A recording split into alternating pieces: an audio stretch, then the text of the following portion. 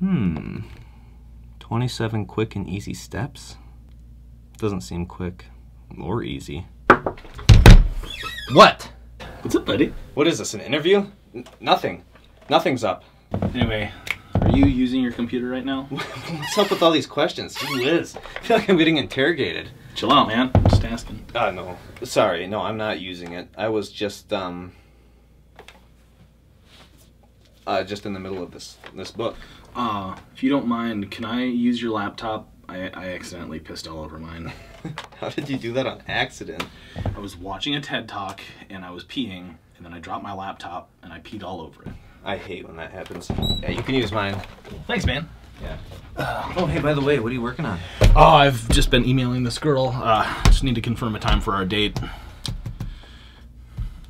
What's your password? Uh, hey, actually, why can't you just use your phone to email? Man, I peed on that too. Ha.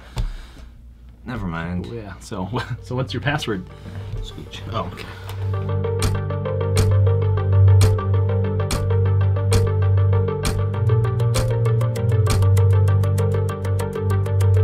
Yeah. Okay. Thanks.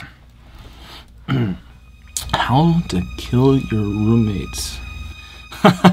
what are you planning on? Killing us? That's hilarious, man. Yeah.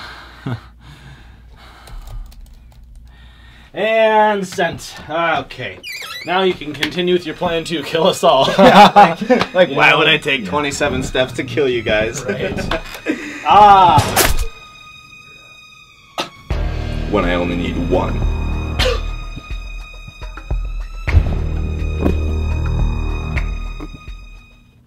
Saw Gladys at the grocery store the other day. Oh, Gladys, how's she doing? Couldn't tell ya. As soon as I, I waved at her, she turned away like she didn't even see me. Well, Gladys. is such a classic Gladys. Good lady though. Oh, yeah. Love her to bits. Love that lady.